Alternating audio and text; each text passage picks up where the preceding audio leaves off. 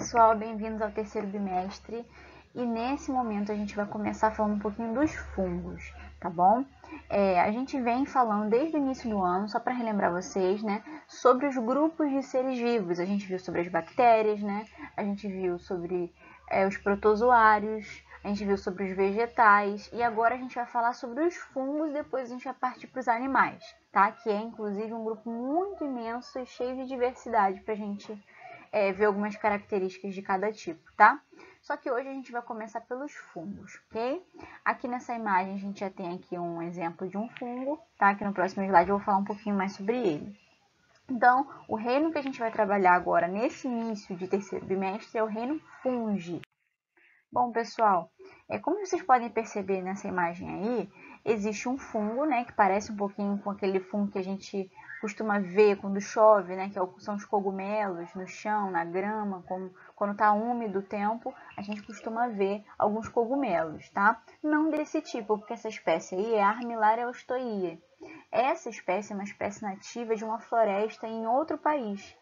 E eu queria perguntar para vocês nesse início de vídeo, que, que vocês acham, observando essa imagem aí, qual é o maior ser vivo que está nessa imagem dessa floresta aí? Porque a gente pode perceber ao redor desse, desses fungos, né, pequenininhos, que tem aí umas coníferas, que são aquelas árvores que a gente estudou, gimnospermas, né, que a gente estudou no outro bimestre, que são aquelas árvores alongadas que dão sementes, né, olha aqui uma da, daquelas sementezinhas. Tem aqui um pouquinho de musgo, né, então, assim, isso aqui é um fungo, mas eu queria perguntar para vocês, qual ser vivo que é o maior nessa floresta aqui? A gente pode, pela lógica, ver e falar que são as árvores, né? Porque, afinal, as árvores são bem altas, pelo que parece aqui, né? Só que não, pessoal, esse é o maior organismo vivo do mundo. Isso mesmo. O que? Esse fungo aqui. Esse fungo, que é Armillaria ostoii, ele é um, um, dos maiores organismos vivos do mundo. Isso, assim, comparado com animais e qualquer outro tipo, não só dentro dos fungos, tá? Por quê? Ah, professora, mas ah, se eu olhar aqui, eu passar aqui, eu até piso, esbarro nesse fungo tão pequeno que ele é. Aparentemente ele é pequeno, mas como a gente vai estudar aqui, gente, a maioria dos fungos, na verdade, o tamanho deles é para baixo e não para cima. É como se eles tivessem raízes, e a gente chama essas raízes de hifas. Então, o que vai dar realmente o tamanho, o comprimento dos fungos são as hifas, que são as estruturas vegetativas, ou seja, essas estruturas como se fossem o corpo desse fungo. Essa parte aqui é só a parte reprodutiva, que fica para fora. Embaixo da terra aqui, provavelmente, para ele ser o maior do mundo, né, é, existem várias hifas que é, alcançam aí mais de 900 mil hectares, tá legal? Bom, e aqui eu coloquei para vocês observarem né, como que o grupo dos fungos é um grupo bem diverso, né? Eu digo diverso em relação à variedade que a gente tem de tipos de fungo, de espécies diferentes. Tem aquelas que a gente convive, né? Não tem como é, ficar longe dessa situação aqui, né? A não sei que a gente tenha realmente muito cuidado com os alimentos que a gente compra e mantém na, na nossa geladeira, na nossa dispensa, para não acontecer isso aqui. Eu tenho certeza que alguns de vocês, né, vocês já têm aí, estão aí na adolescência, né, provavelmente já tem mais contato com a cozinha, vocês já observaram um bolor, né, como esse aqui, a gente chama de bolor, né, que é quando o, um alimento mofa, né, a gente chama é, mais, mais corriqueiramente como mofo, então ex existe o mofo também da parede, né, de alguns utensílios, mas se a gente falar de alimentação, Existem pães que mofam, aqui também botei uma imagem de um pão mofado. Esse mofo, na verdade, é um fungo, tá legal? Existem também alguns pratos, né, inclusive da, da culinária japonesa, vegetariana, vegana, que comem muito cogumelos, né? Existem cogumelos é, alimentícios comestíveis. E existem aqueles que não são comestíveis, né? É, existem alguns cogumelos que vivem em troncos de árvores e existe um também, que é o penicillium, que foi um dos primeiros fungos né, a serem descobertos como potencial de antibiótico. Como assim, professora? Esses antibióticos que a gente toma hoje, né, aquele comprimidozinho para combater alguma infecção bacteriana, na verdade, aquele antibiótico ele veio de um fungo, porque um dia um cara lá, que vou depois, dentro dos exercícios, vocês vão pesquisar sobre esse cara, ele pesquisou e e, e, fez essa placa de Petri aqui, ó, isso aqui é uma placa de Petri. No laboratório a gente chama isso de placa de Petri. Dentro dessa placa de Petri, a gente coloca um gelzinho, tá? E um, um líquido nutritivo. Para quê? Para atrair as bactérias. E depois de colocar esse líquido nutritivo, a gente aplica alguns fungos, tá? E o que, que esse cara observou? Aplicando os fungos aqui no, no meio, essa bolinha preta, né? É, são os fungos. Ele vê que não houve crescimento bacteriano onde os fungos estão. Para vocês verem, toda essa parte embaça, embaçada e turva do gelzinho aqui é bactéria. É tudo crescimento bacteriano desse líquido nutritivo. Agora, esse redondinho aqui, que é meio azulado, né? Em volta do fungo, que é o pretinho, não cresceu bactéria. Então ele, pô, caraca, acho que eu descobri um antibiótico. Por quê? Porque eu consigo colocar um fungo no lugar e se ele tiver ali essa espécie de fungo, não cresce bactéria em volta. E daí ele foi desenvolveu alguns medicamentos, né, que combatem, né, é, algumas bactérias. Olha que interessante, né, a importância que a gente tem na medicina dos fungos. E como sempre, a gente precisa ver algumas características gerais desse grupo de ser vivo, né, desse reino. E, em geral, que é o que eu sempre coloco quando a gente vai estudar um reino novo, né? É o que? Se ele é eucarionte, se ele é unicelular, se ele é pluricelular. E no caso dos fungos, eles são eucariontes, ou seja, eles possuem membrana nuclear, aquela membraninha que vai envolver e delimitar o núcleo separando ele do citoplasma. Eles são unicelulares ou pluricelulares. O que, que isso quer dizer? Que existem fungos que são unicelulares, como as leveduras, por exemplo, tá? Que é da onde a gente tira o fermento biológico para fazer o pão. Ou os multicelulares. Existem fungos multicelulares, como os cogumelos, que são aqueles grandões que a gente já pode ver, né? Que existem, que têm muitas células. É, podem ser também heterotróficos, né? eles são heterotróficos, os fungos, o reino fungo é um reino de seres vivos heterotróficos. E o que, que isso significa, pessoal? Isso significa que eles não produzem o seu próprio alimento, mas sim eles obtêm seu alimento de outro ser vivo, tá? Isso é importante. Só que de que maneira eles obtêm o alimento de outro ser vivo? Não como a gente, tá? A gente é heterotrófico, mas de outra maneira. Os fungos, eles são heterotróficos por decomposição, que é o que a gente chama de sapróbios, tá? O que, que são sapróbios? São organismos que é, se alimentam de, de coisas podres, digamos assim, tá? Porque a gente pode perceber, né? Por exemplo, no, no bolor que dá no, no, no, mofo, né? Que dá no pão, que dá no, nas frutas, quando elas estão estragando. O que, que, é aquilo? Aquilo ali é a fruta entrando em decomposição. Só que ela só entra em decomposição porque há um ser vivo fazendo a decomposição da sua matéria, das suas moléculas, né? É, e que ser vivo é esse? Pode ser uma bactéria, mas geralmente esses que a gente tem em casa, né? Que às vezes está na geladeira e estraga uma fruta na geladeira, um morango. A gente comprou um morango e está cheio daquele, aquele, aquele, aquela. Parece uma nuvenzinha branca. Aquilo ali é fungo, tá? Porque se fosse bactéria a gente não ia ver, ver aquela nuvenzinha branca, né? Porque fungo ele pode ser multicelular, lembra? Então, assim, eles são sapróbios, eles decompõem a matéria orgânica né? E decompondo a matéria orgânica, eles conseguem absorver essa matéria orgânica. Absorver para quê? Para ter energia para eles mesmos. Então, eles são sapróbios por absorção. Isso é extremamente importante, pessoal. Se atentem para o que eu vou falar agora. Porque os fungos, se a gente falar de ecologia, dentro da ecologia, os fungos são considerados como aqueles que fazem a ciclagem dos nutrientes. Sim, porque, por exemplo, vou dar um exemplo bem assim, bem feio, né? Mas vamos pensar o seguinte: a gente se alimenta, a gente obtém energia. Quando a gente morre, né? Quando uma pessoa falece, o que acontece com ela? Ela vai entrar em decomposição, né? É natural que um corpo de um ser vivo entre em decomposição. E o que é esse entrar em decomposição? É um fungo ou uma bactéria atuando sobre aquela matéria orgânica morta, tá?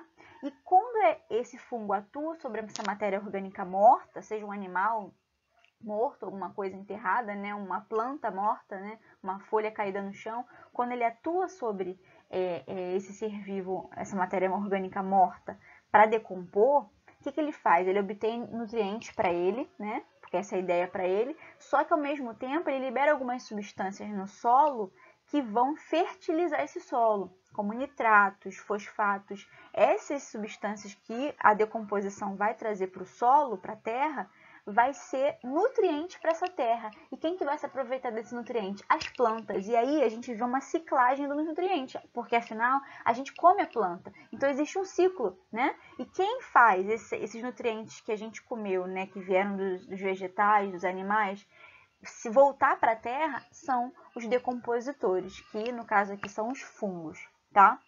Eles possuem também uma parede celular de quitina, diferente das plantas que possuem uma parede celular de celulose, tá? Tem um reino separado, o fungo não faz fotossíntese, tá? Até porque eles são heterotróficos, já falei aqui, eles não fazem fotossíntese, por isso que eles são de um reino separado das plantas e existem também outras características que eles possuem que os separam também dos animais. Então eles têm um grupo separado, tá? Um reino separado para eles. Vamos lá agora quanto à anatomia, né? Como que é o corpo desses fungos geralmente? Falando dos fungos pluricelulares, que possuem mais de uma célula, tá? Eles possuem geralmente hifas, tá? Que a estrutura vegetativa é, é o corpo desse fungo, né? A parte vegetativa é a parte que vai ter maior comprimento, tá? Que é onde ele vai realmente absorver nutrientes, né? Enfim. E tem o micélio, que é um micélio, gente? O micélio é o conjunto de hifas, tá? O conjunto de hifas, olha essa imagem aqui, ó, tem várias hifas, tanto para cima, né, aqui do, micélio, do dessa estrutura do cogumelo, quanto para baixo da terra. Olha como que um fungo é maior do que o que a gente vê, né? É por isso, pessoal, olha que interessante, que quando a gente vê, por exemplo, uma, um pão que ele está mofado, muitas pessoas, para não é, desperdiçar esse pão, o que, que elas fazem? Elas cortam um pedacinho desse pão que está mofado e joga fora e come o pão. Só que isso não é ideal. Por que, que não é o ideal? Porque o que a gente vê do fungo está ali ainda, né? Quer dizer, o que a gente vê do fungo é o que a gente tirou, né? Aquela parte que está esverdeada ou está escurecida, né? Que é o mofo. Só que o que a gente não vê é maior ainda e está ali entranhado por dentro do pão. Então, na verdade, quando você tira a parte de cima, você está tirando só aquela parte visível do fungo, tá? A parte vegetativa, né, o corpo inteiro do fungo vai estar tá embaixo, entranhado no pão, e a gente não vai ver, né? O que é um perigo, porque aí você come esse pão cheio ali de hifas de, desse, desse bolor e você pode acabar tendo algum problema, né? Se você não tiver com a imunidade legal, né? Pode ter até uma infecção, algum problema desse tipo, dependendo do, da espécie desse fungo, tá? Então não é bom cortar uma parte da laranja que está estragada e comer o resto, né? Justamente por isso, porque as hifas elas estão ali por dentro e a gente não está vendo. É, então é isso, pessoal. Aqui, hifas, micélios são duas estruturas importantes dos fungos, tá? E no caso dos cogumelos, tá? Que são um grupo específico de fungos, essa parte de cima que a gente vê, olha aqui, ó, essa parte de cima aqui, é a, é a parte reprodutiva, é onde eles vão liberar os esporos, tá? Os esporos são como se fossem os gametazinhos, espermatozoides e óvulos, tá? Eles vão liberar por essa parte de fora do cogumelo, que é o que aparece, né, pra gente na Terra, tá? Que é o que às vezes quando chove a gente vê aí pela grama, né, no chão, aparecendo. Outra coisa, gente, existem dois tipos de hifas, tá? Dependendo do tipo de fungo. Num fungo unicelular, ele vai ter uma hifa cenocítica, o que isso significa? É uma hifa que não tem septo, não tem separação entre um núcleo da célula e outra. Olha aqui, parece uma célula inteira. Não tem separação de núcleo, de, de do núcleo de uma para o núcleo de outra. Não tem septos, tá? Agora, olha que diferença da hifa septada. A hifa septada geralmente é uma hifa que tem nos fungos multicelulares ou pluricelulares, tá? E possui algumas separações, ó, que dividem vários núcleos nessa hifa tudo bem? Quanto à respiração, pessoal, a respiração dos fungos pode ser aeróbia, tá? Ou anaeróbia. O que é uma respiração aeróbia? É quando esse fungo ele utiliza oxigênio, assim como a gente. A gente respira aerobicamente, né? A gente utiliza o oxigênio e libera gás carbônico. Alguns fungos fazem isso também, então por isso eles são considerados a, é, é, por ter respiração aeróbia tá? Agora, outros são facultativos anaeróbios. O que isso significa? Que eles podem é, respirar de maneira aeróbia, tá? Utilizando o oxigênio, ou não. Se não tiver oxigênio no meio, ele consegue fazer anaerobiose, tá? Que é quando eles fazem o que a gente chama de fermentação, que inclusive é muito utilizada para produzir queijo, para produzir bolo, para produzir é, vinhos, né, bebidas alcoólicas. Muitos fungos que fazem fermentação são utilizados na, na, nas indústrias aí, né, com, por conta desse mecanismo deles poderem fazer fermentação lática ou fermentação alcoólica, produzindo álcool, tá? É, coloquei um exemplo de um moranguinho aqui estragadinho, né? Esse estragadinho a gente tem que lembrar aqui que a gente está estudando biologia, então a gente não fala estragadinho, ele está em decomposição. E quem está decompondo aqui? Provavelmente é um fungo. Olha aqui a nuvenzinha, é uma espécie de fungo, tá? Que se você cortar essa metade do, do morango aqui, você não vai resolver o problema, porque pode ter IFA por todo esse morango aqui, tá? É, então, nutrição dos fungos, eu já falei um pouquinho, mas para repetir aqui, ó, são decompositores, tá? E a importância ecológica dele na reciclagem dos nutrientes, como eu já falei anteriormente para vocês, tá? Quem não lembra, volta o vídeo um pouquinho, tá? Para lembrar, porque isso é bem importante, né? A questão da ciclagem dos nutrientes feita pelos fungos absorvem moléculas simples, ou seja, por que, que eles decompõem o alimento? Né? O que, que é decompor, gente? Decompor uma coisa. Eu tenho aqui um celular. Ó. Se eu quiser decompor esse celular, eu tiro aqui a, ba a bateria dele. Opa! Eu tiro aqui a bateria dele, tá? Tiro o, chip, aí eu vou estar tá decompondo, vou transformar ele em pedaços menores. A decomposição feita pelos fungos é assim também. Eles pegam moléculas grandes, por exemplo, de carboidrato que tem numa fruta e vão quebrar em moléculas pequenas de glicose. E aí sim eles vão conseguir absorver essas moléculas, até afinal porque eles são bem pequenininhos, né? Então a molécula precisa ser bem simples para eles conseguirem assimilar e absorver, tá? E com isso a digestão deles é extracorpórea. O que isso significa? É fora do corpo. A gente não. Se a gente come uma banana, come uma, uma fruta, um alimento, a gente digere ela dentro do nosso corpo. A gente decompõe esse alimento em moléculas menores dentro da gente, né? Vai acontecer dentro da gente. Agora, no caso dos fungos, acontece fora do corpo. Por quê? Porque eles liberam substâncias que vão decompor essas moléculas desse morango, por exemplo, e depois que elas estiverem bem simples, ele consegue absorver, tá? Quanto à reprodução, galera, a reprodução ela pode ser assexuada. No caso da assexuada, ela tem três tipos, tá? Brotamento, que os fungos unicelulares vão fazer, repartição do micélio, tá? Que é quando fragmentos, né, pedaços dos micélios caem assim e resultam em, em novos indivíduos. Esporulação, que é quando formam-se esporos. Olha aqui, ó, essa levedura, tá? Por microscopia eletrônica de varredura, que é um tipo de microscópio que a gente consegue visualizar dessa forma eu tenho aqui uma célula mãe que está formando um, um, broto, né? Saiu um broto aqui e está esporulando, tá? É, esse também é um tipo de reprodução assexuada. Lembrando que na reprodução assexuada vai ser formado clones e não indivíduos geneticamente diferentes. Agora, na sexuada, que é o que a gente vai ver aqui, tá? Reprodução sexuada, inclusive eu quero que vocês vejam a figura na página 241 do livro de vocês, vocês vão ver que há a fusão de duas hifas diferentes. Uma é dita como macho né, e outra como fêmea. Só que, na verdade, os fungos eles não têm características sexuais é, é, suficientes para a gente diferenciar ah, esse fungo é macho, esse fungo é fêmea. Diferente das plantas, né? Como a gente já viu, no segundo bimestre, a gente consegue diferenciar dentro de uma flor a estrutura feminina e a estrutura masculina, que é o androceu, tá? Agora, no caso dos fungos, a gente vai chamar os sexos diferentes de positivo e negativo. Então, eu tenho na reprodução sexuada a fusão de um, um fungo, uma hifa, né, haploide, ou seja, com metade do número de cromossomos negativa, com uma outra hifa haploide positiva tá? A partir da fusão dessas duas hifas, vai acontecer a formação ali de um zigoto e ele vai se desenvolver, tá? Eu coloquei aqui um resuminho para vocês de como que funciona, mas vocês podem observar também na figura que tem na página 241, tá legal? Então, ó, bate um print aí desse resuminho e anotem o que vocês acharem necessário para vocês estudarem depois.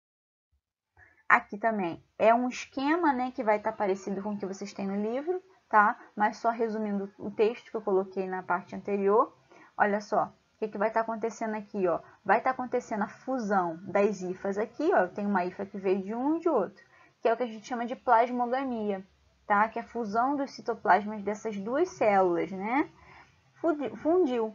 Depois que essas células se fundiram, eu vou ter uma fase heterocariótica, que vocês não precisam decorar isso não, tá? E depois vai acontecer a cariogamia, tá? Que vai ser a formação de um novo indivíduo realmente, né? Que vai ser a fusão propriamente dita. E aí eu vou ter um indivíduo novo, tá? Por reprodução sexuada, onde eu vou ter variabilidade genética, porque dois indivíduos diferentes se fundiram, tá?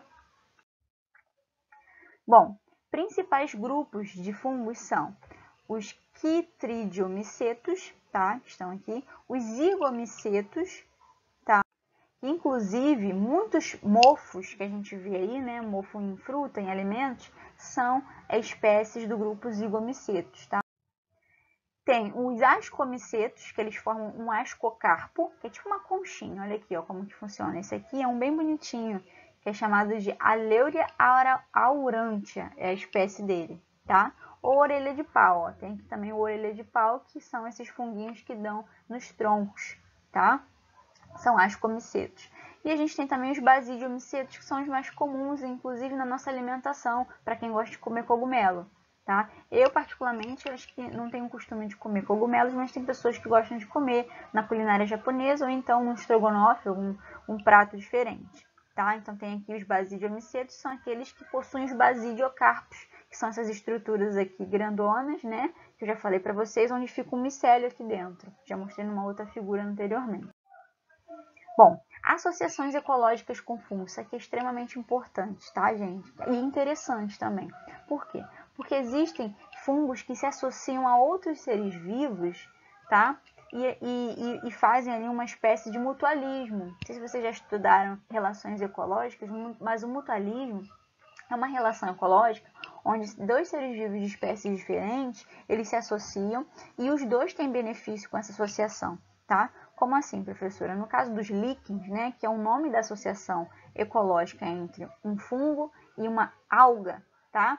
o que, que vai estar tá acontecendo ali? É o exemplo que está aqui, ó, esse desenho aqui de baixo, do lado direito, tá? Aqui, o que, que vai estar tá acontecendo? Eu tenho um fungo associado a uma alga. E qual é a vantagem que esses dois têm com uma relação, com essa relação ecológica? Porque nas relações ecológicas mutualísticas, os dois têm que ter benefício. É a mesma coisa que eu estou aqui com vocês, né? A gente está tendo benefício. Eu estou trabalhando, estou dando a minha aula e vocês estão estudando. Então, a gente está aqui fazendo um mutualismo, né? Entre aspas, onde os dois estão sendo beneficiados. Com os líquens é assim que acontece. A alga ela consegue né, a proteção ali né, do fungo e a fixação naquele local para poder estar tá iluminada. E o fungo ele consegue é, alimento a partir dessa água que faz a fotossíntese, alga que faz a fotossíntese, tá? Existem outro tipo também de associação ecológica entre fungos, que são as micorrizas, que é quando algumas raízes de plantas se associam a fungos. E isso é bom para a planta porque os fungos, eles decompõem matéria orgânica, né? Então eles produzem nitratos que são interessantes, são interessantes nutrientes para essas plantas. E o que, que o fungo ganha em troca? Porque ele tem que ganhar alguma coisa em troca, lembra?